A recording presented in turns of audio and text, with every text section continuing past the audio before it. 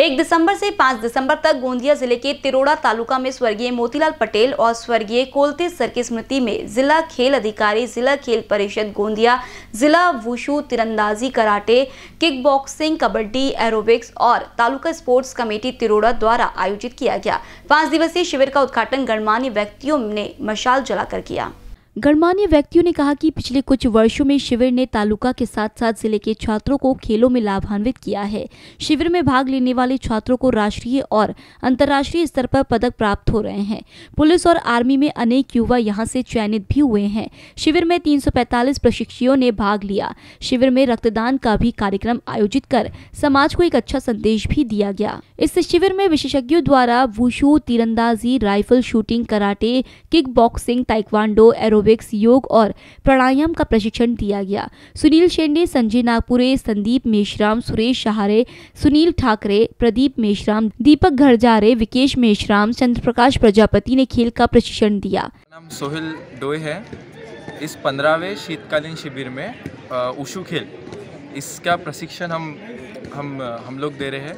रुपेश साखरे, मैं सोहेल डोए और हमारे सर तो हमारे अंतर्गत उशु खेल का प्रशिक्षण दिया जा रहा है। मेरा नाम सुनील शिंडे है। मैं तालुका क्रीड़ा संयोजक, एनसीसी ऑफिसर और शहीद मिश्रा विद्यालय में एक शिक्षक हूँ। और यह जो हमारा जो शिविर है, ये पंद्रहवा शीतकालीन खेल प्रशिक्षण शिविर है। कोरोना काल के वजह से हमने ये दो साल शिविर का आयोजन नहीं किया था, लेकिन इस वर्ष हमने यह यह शिविर आयोजित किया। इस शिविर में लगभग चार सौ चालीस के करीब में छात्र छात्राएँ प्रशिक्षण ले रहे हैं। मैं नागपुर ज़िले से आई हूँ। मैंने यहाँ पर बहुत सारे खेल सीखे और मैं यहाँ से खेल सीख कर आगे जाके गोल्ड मेडल लाना चाहूँगी। सर्वांनी माझं नाव वंशिका शिवनाथ गेडा. मी ह्या शीतकालीन शिबिरात पंधराव्या शीतकालीन शिबिरात आलेली आहे. ह्या आपल्या शहीद मिशन शाळेत लागलेला आहे. मला इथं खूप सारे गेम शिकायला भेटले आणि मला खूप आनंद झाला आहे अजून मला वाटतंय की हा शीतकालीन शिबिर दरवर्षी व्हायला पाहिजे. मेरा नाम संजय नागपुरे. मैं क्रीड़ा प्रशिक्षक तथा तालुका क्रीड़ा समिति का सदस्य भी हूँ।